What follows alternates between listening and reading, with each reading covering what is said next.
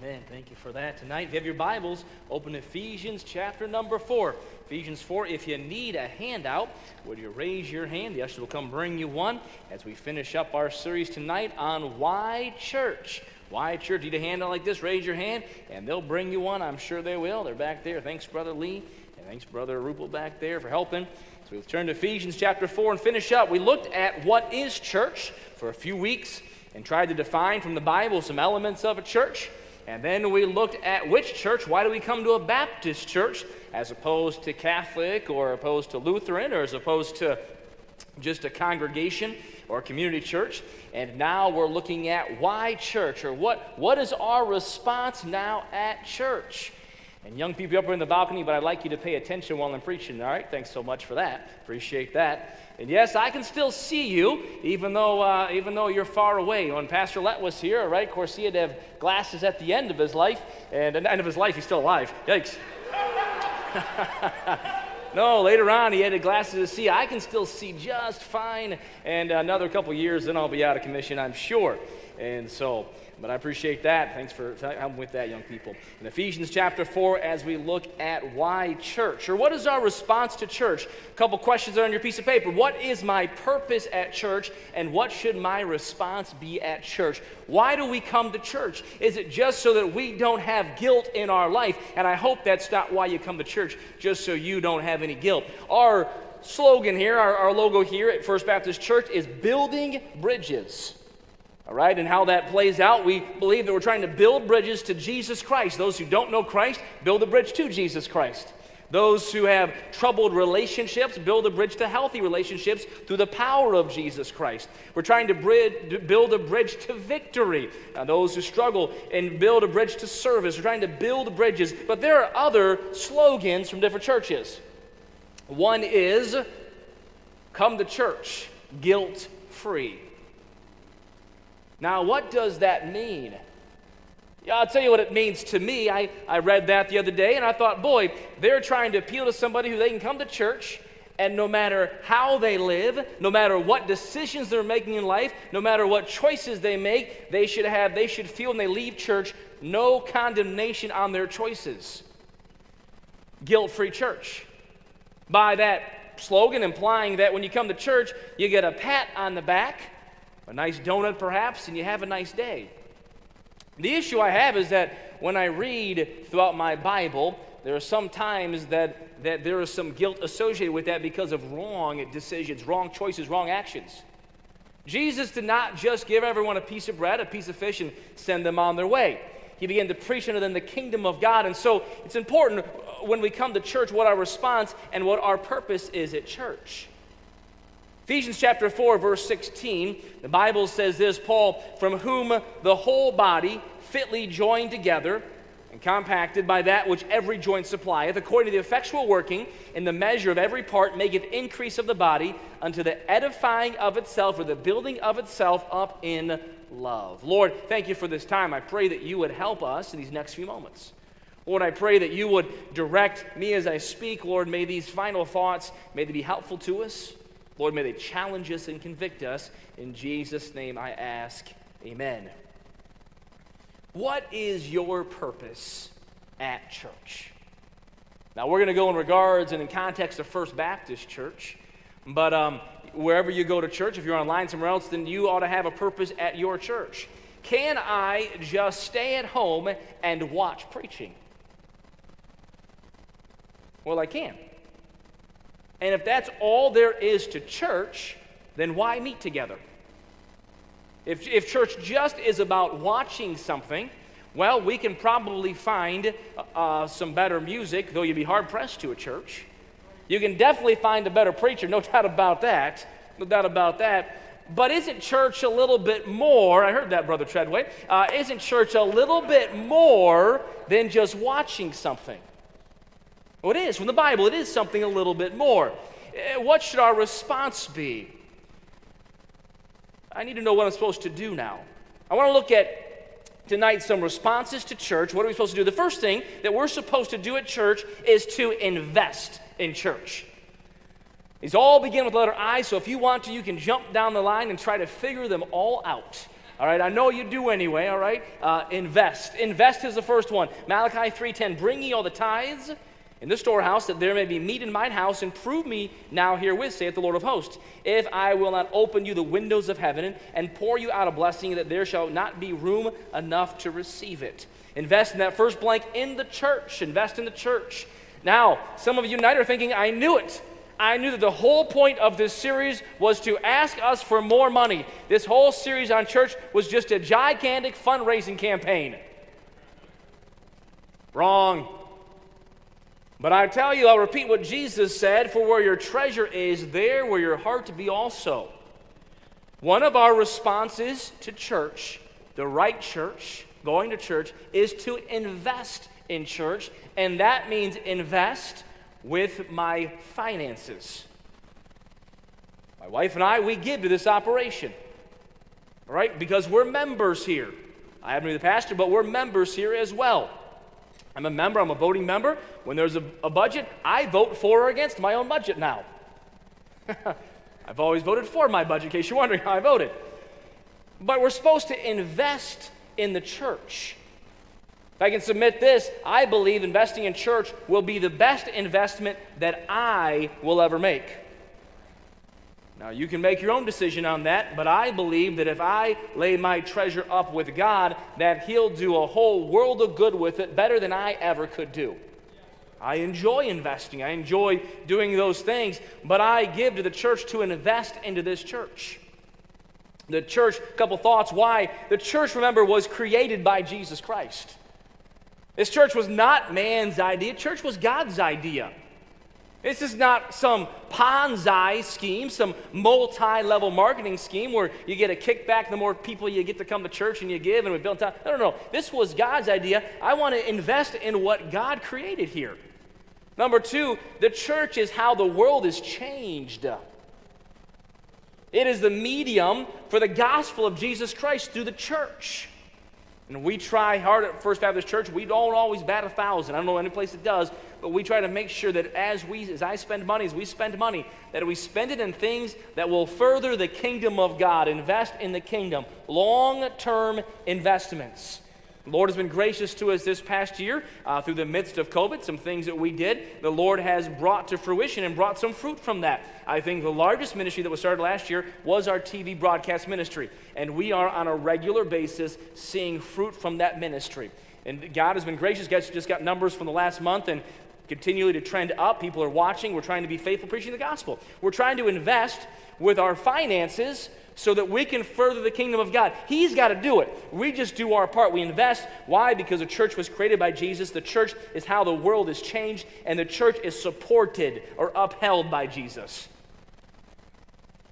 We invest in the church. Not only with our finances, you invest uh, with your talent. You invest with your time. Uh, there'll be different places that you can give of yourself. And the Easter hunt, uh, the, the, the, Easter egg hunt is coming up, and there'll be work days around here and days uh, that will ask you to get involved in. And you know what? You might not have time for everything, and I don't think anyone should do every single thing here, um, but you can do something. You can give a little time here, maybe a little time there. And uh, that's as we invest in the church, for where your treasure is, there your heart be also. You may not realize this, but I love First Baptist Church. I love this place. I spend a whole lot of time here at this place. Early in the morning, sometimes late at night, sometimes, uh, well, most weekends I'm here. All right, I'm here about every Sunday of the year, First Baptist Church. I love being here. I am glad that my family loves being here. I want my kids to love this place. They're in SOS tonight. They love SOS. They don't grumble on the way to church, at least not yet. Maybe next year, as Johnny becomes a teenager, perhaps that'll happen, but they don't grumble. And I want them to love church like I love church, and I want them to love this church. I love this church. Is it a perfect church? Nope, I'm here. It's not perfect. You're here. We're here. But hopefully, prayerfully, it's a church where Jesus shows up. And boy, God has just touched this church the last uh, years, and, and, God has been gracious to us. We invest in the church. But number two, there, we all, not only invest in the church, we invest in the members. We're supposed to invest in each other at church. Why church? Because we're supposed to invest. How do we invest in the member? In the members, here's some, some things, phrases for you. First of all, love on others. Remember that? We looked at that Sunday night. That is the mark of a disciple of Jesus Christ love toward someone else who is saved. You ought to be investing and loving on other people around you. Do me a favor look around the auditorium. Look left, look right. What do you see? Well, I, you know, Pastor, I see a whole lot of, whole lot of nothing, perhaps. See some funny looking people, some, some happy people, some sad people. I see old, I see young, I see intelligent, I see more intelligence. What do you see? You see people. People who need some love, and we can love on each other. You ought to love on people when you, when you come to church and outside of church as well. But when you come to church, you love on people. How can you do that? You can talk to them in the hallway. I'm glad to see you. Give them a warm smile. You can even if I'm not looking, shake their hand. Right? Pass the COVID germs around. Love on other people. Oh man, I, I have been privileged to be to have been loved on. Our family's been loved on from people this church. I still remember when my wife's father passed away, and uh, not quite suddenly, but but we had to get out there pretty quickly. I was amazed and touched by all the responses from this church family. Uh, many of you wrote us a card. Some of you slipped money into our hands and into cards for us. Boy, God was so gracious, and you were so kind. You loved on us. And I know you do that to each other as well. Many of you do that because the people who are loved on come and talk to me. Can you believe this happened, Pastor? That you think it may just be a little deal. No, no, it's a big deal to love on somebody. And you think it may just be a smile, it may just be 20 bucks, but I tell you what, that matters to people. That's a big deal. Invest in the members of this church, invest in other people, love on others. The second blank there, fellowship with others. I hope you don't just come in and, and run in and run out these doors. I hope you stick around and talk to people. And you, you find out what's going on in their life. You don't stick around and talk to them to let them know what's going on with you, but find out what's going on with them. Talk with them, cry with them, laugh with them. My greatest friends are in this church right here. My family's in this church, physically and spiritually. I'm closer to, to, to, to, most of you than I am even more so than some of my other family members. Fellowship with, with each other. I still remember I was here just a few years assistant pastor and ran into, I think it was the Phil Harts. Ran into them, I was at Menards.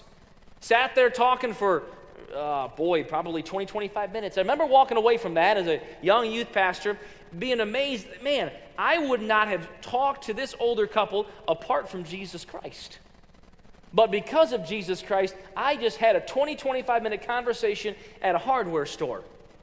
Fellowship with the members, and I enjoyed it. We love on others, we fellowship with others. You ought to help others. You ought to help others. How do you help them? Boy, you carry their burdens help carry the load. And this church is, is excellent at that as well. You, you can encourage them, add to their joy. When you, when you come to church and you come around someone else, sometimes you're going to come with burdens. Sometimes you're going to come with needs. Sometimes you're going to come with, with requests with a heavy heart. But your emphasis when you come to church, why church, ought to be to invest in somebody else. You may have had a bad day. It may be a bad week. It may be a bad month. It may be a terrible year. It may be a terrible life. Some people, it seems, get the short end of the stick every time, it seems. You can still invest in someone else. It may be a good day. It may be a good week. It may be a great month. It may, may be the best year of your life. Then you better be investing in other people when you come to church here and seek to help them and encourage them. Why church? Number one, we invest. Number two, number two, why church? Well, we ought to be involved. And I think the blank got cut off there, so it's going to be at the top of the page there, 1 Corinthians chapter number 12. So you can write that in there, involved. The verse says this For as the body is one and hath many members, and all the members of that one body, being many, are one body, so also is Christ. For by one Spirit are we all baptized into one body, whether we be Jews or Gentiles. Notice that race doesn't matter. Bond or free. Bond or free, social status doesn't matter. You, you, finish the verse, and having all been made to drink in one spirit, for the body is not one member, but many. Don't you love how the Bible solves life's problems? Racism, animosity, social injustice are solved with the right view of Jesus Christ. Jesus said, another passage, the Bible says, there's neither male nor, nor female. It's, it's we're all, we're, we're just in Christ. Jew, Gentile, bond, free, doesn't matter. No matter how rich, no poor, no matter what, what your ethnicity is, we are one in Jesus Christ. That's the church. But it says we're a body. A body has all different parts fingers and toes and elbows and knees and ears and eyes, and everything ought to function in harmony. It means your ears complement the operation. Your eyes help your feet work correctly. Your hands assist uh, what's going on. Look at Ephesians 4, verse 12. For the perfecting of the saints, for the work of the ministry, uh, ministry, for the edifying of the body of Christ. You ought to get involved at church. Why church? Not only to invest, but to get involved. Get involved at church.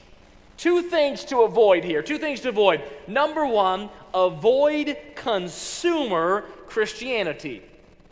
Consumer Christianity is what's in it for me, or this thing is all about me. I come to church, so, Pastor, you ought to feed me at church. Don't be a consumer Christian. Though we want to serve you, you ought to want to serve each other. You do not come to church to be served, you come to serve. Don't be a consumer Christian. When you go to a restaurant, you're there to be served. You sit down and you order the drinks you want and you order the foods you want, and they, if, if it runs low, you bring more. I remember one time uh, early on in our dating relationship, I took my wife and her sister to a, uh, to a seafood restaurant out in New Jersey. My wife's from about 45 minutes from New York City, and they have just tremendous seafood out there.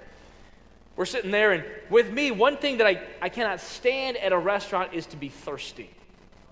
At a seafood restaurant where there's butter and salt and butter and salt and butter and salt, I mean, I'm just, I'm just dying. And for whatever reason, this particular waitress was probably having a hard night, and my cup was dry most of the night. And my frustration level of, of trying to eat this, we'd order these lobster pots all right? And they were they were they were big. And of course, I'm dating Doreen, so I have to impress her. So I was spending a heap of money at this at this restaurant on the water uh, in New Jersey. And uh, boy, you know, and, and my wife, if you know my wife, she can eat, and she's you know fist and he- head deep in this pot. Her sister's the same way, and I'm thirsty. And and finally, I've, I've had it, and I'm like, man, would this waitress just bring me some water? And as I say that, I notice that my, my girlfriend, or Doreen at that time, is looking at me very strangely and looking really over my shoulder. I'm looking at Doreen, I said, She's behind me, isn't she?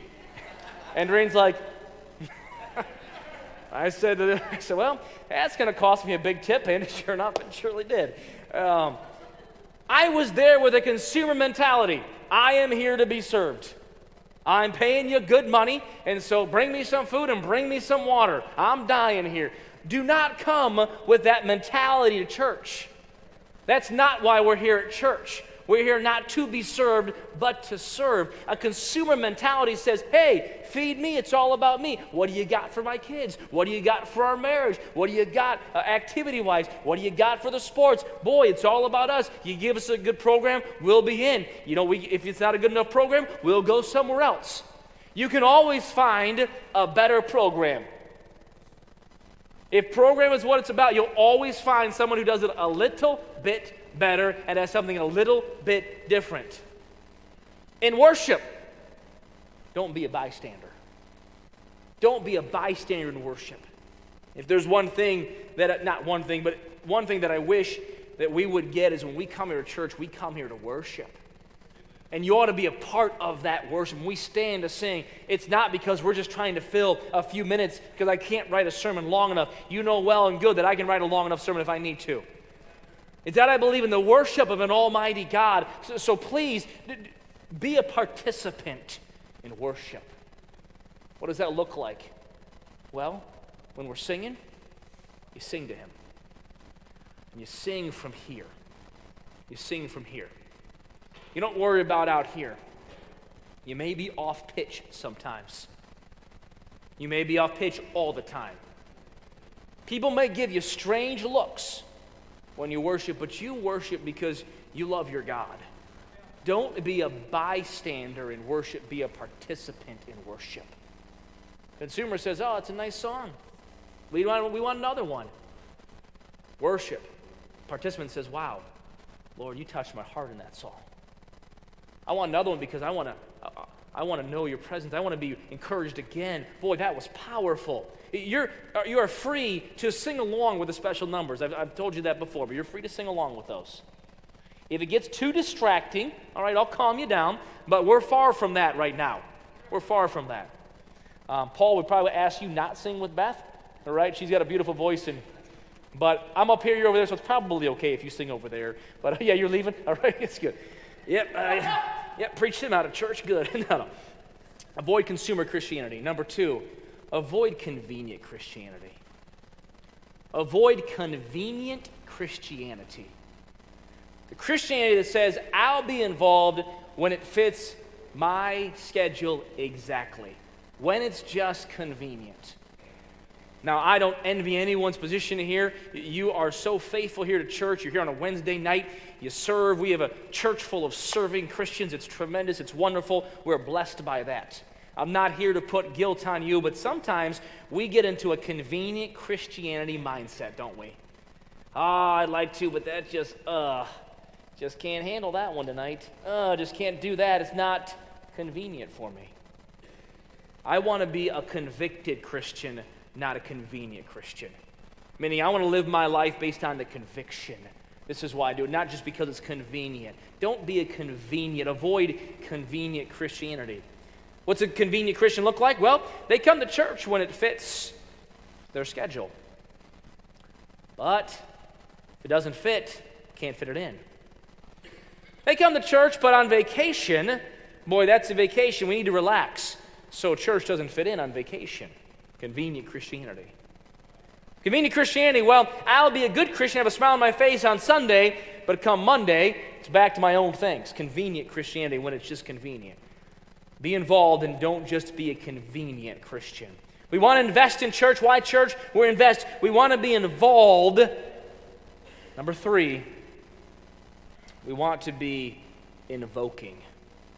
Should be a little line there. I don't see one, so I apologize for that. 1 Samuel 12 23, invoking. What does that mean? To pray. To pray. Why, church? To pray for each other. Moreover, Samuel says this Moreover, moreover, as for me, God forbid that I should sin against the Lord in ceasing to pray for you, but I will teach you the good and the right way. Understand that prayer for the saints is not just a nice idea. Prayer for the saints is instructed, commanded in Scripture. We're supposed to, we're obligated, we're instructed, commanded to pray for each other. Now, hopefully, when you came in tonight, you received a prayer sheet. Everybody get one of these?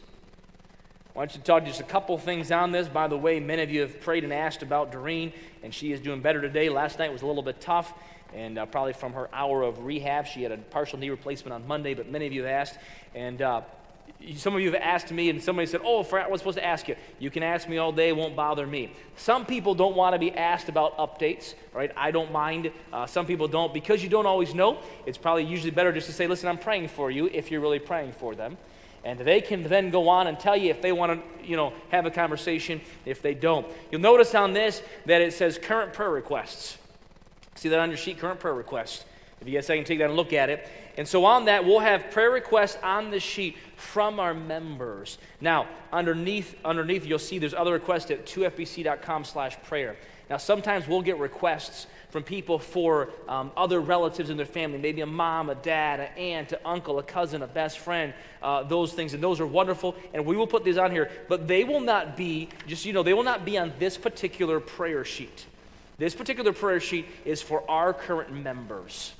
All right, so when you come to church, that's all. Now, if you want to see the other ones, they'll be online on that prayer sheet. You can download it. But the one that you come to church, for two reasons. One, um, a logistical reason. If I put every one of those on here, we're back to a 14, 15 page prayer bulletin. And, and though you'd want to pray for all of them, most you wouldn't.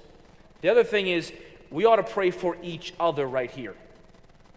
Now, some of you have extra time and you can pray for the other ones, and I encourage you to. But you'll see on this prayer sheet, the ones you get at church on Wednesday nights, it'll have our current prayer requests on there from the current members, and, uh, and they'll stay on there for about two weeks, and then we'll take them off. You can resubmit them and get them on there. Just help us clean that up. And then some upcoming ministry requests. You ought to pray for each other. You see, well, what does prayer do? Prayer supplies needs.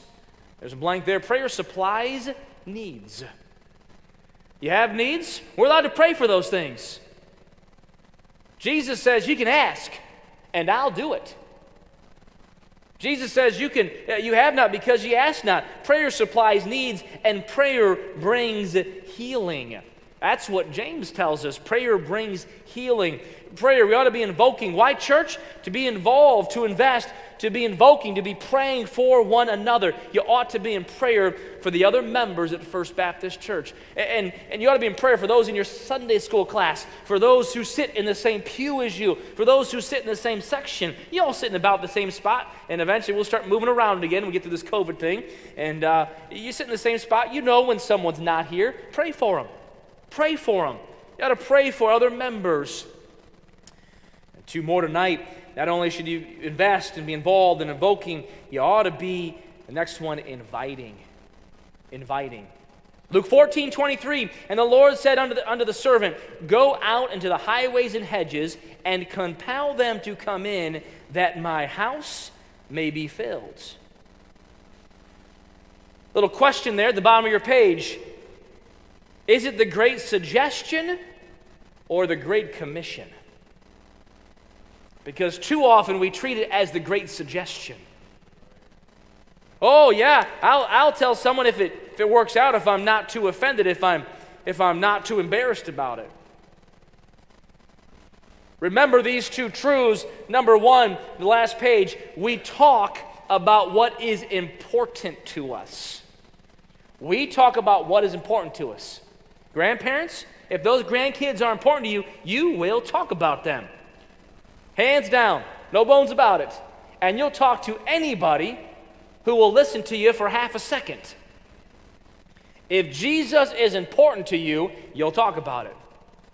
In my house, my kids talk about what's important to them. What is that? Well, it depends. Sometimes it's a situation at school that happened. Sometimes it's a current toy that they're looking at or trying to sell on Facebook Marketplace or whatnot. They talk about what's important. We all talk about men, women, moms, dads, husbands, wives, young people, old people alike. We talk about what's important to us. If you're always talking about your health, and that's the most important thing, it ought to be that what we talk about most is Jesus Christ. He ought to be most important to us.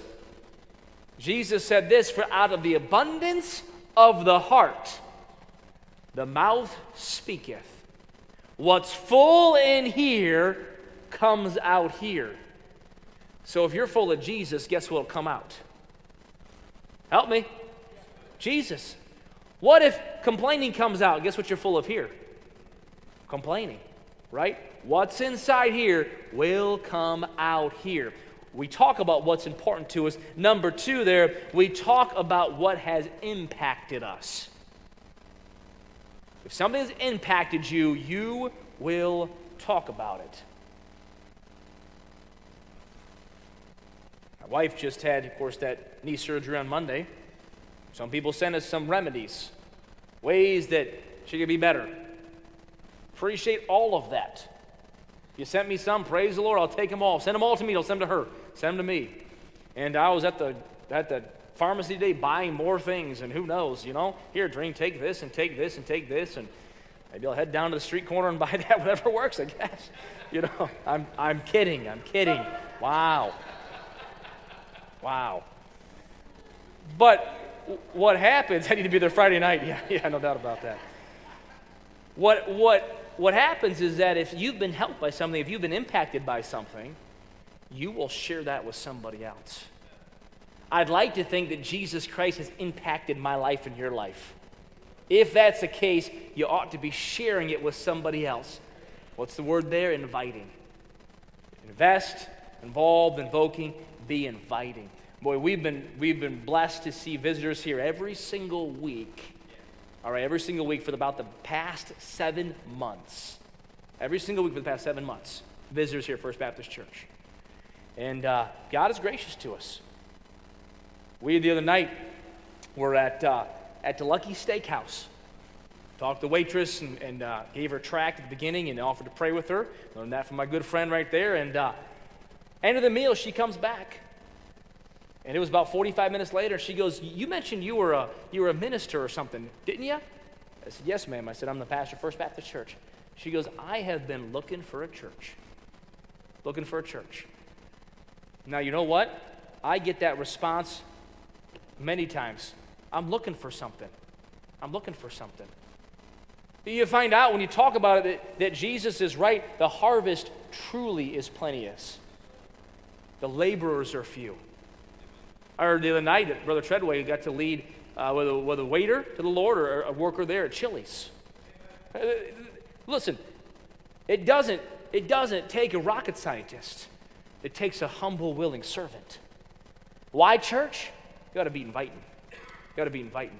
Talking about Jesus Christ. And lastly, tonight, this is a little bit of a stretch, okay? All right, so don't hate me, the last blank. Tonight, the blanks were investing and involved, invoking, inviting. Lastly, invading. Invading. It means coming to church, all right? I had to come, I had to get one more eye. I couldn't leave it right there. All right, so I put it last so you wouldn't mock me too much. Invading. Hebrews chapter 10, verse 23 through 25. Let us hold fast the profession of our faith without wavering. For he is faithful that promised, and let us consider one another to provoke unto love and to good works, not forsaking the assembling of ourselves together as a manner of some is, but exhorting one another, and so much the more as ye see the day approaching. Don't make me feel guilty. I don't have to go to church. This is not about guilt, it's about grace. You're right. You don't have to go to church. You get to go to church. We live in a country that you get to go to church. You don't have to live in fear of going to church and maybe one day it'll change here, but I'm so grateful for the freedoms that we have. No, you get to go to church. With that attitude, I would encourage you to go to China, go to Iran, and tell the Christians there that same thing. I don't have to go to church. You can't make me go to church. Don't make me feel guilty. And I would submit that they would say things like, That's your attitude? We would love to have a building to go to church. We would love to have the, the freedom to go whenever we wanted to. And that's your attitude? You can't make me go to church? Don't make me feel guilty? It's interesting that some, some churches, some pastors, deny that this passage deals with coming to church. I look at it and I think it's fairly clear. All right, verse 25, and the closer we get to Jesus Christ coming, the more we ought to come to church. Which reminds me of church tomorrow and Friday and Saturday. No. It's interesting that, there are churches that deny this passage, all right? It's not, you don't have to come to church, but then they're so consistent that then they invite you to come to church next Sunday morning. They still want you to come to church when they're open. That's why they have three services in a row. They still want you to come. They deny this means come to church, but they want you to come to church. Like they actually don't really believe what they're saying. You see, people who argue this verse away seem to desire that they should be in charge of their own schedule. Church fits in great. When it doesn't, don't make me feel bad. Or, in other words, church ought to be about me. My friend, why church? Why church? Because church is about Him. And I am blessed to be a part of it. You ought to be attending regularly, regularly, and you ought to be attending purposefully. I think if COVID did anything for us, and it did a number of things, but one thing it did for us here at First Baptist Church was bring a purposeful attendance to church. The Lord has blessed us with some moving services where God has touched us. I think you felt that. I felt that. I believe one reason is that those in attendance are coming here on purpose. not by accident. Definite choice. With anticipation. Church, I'm in. Church, I'm all in. Why church? It's about Him.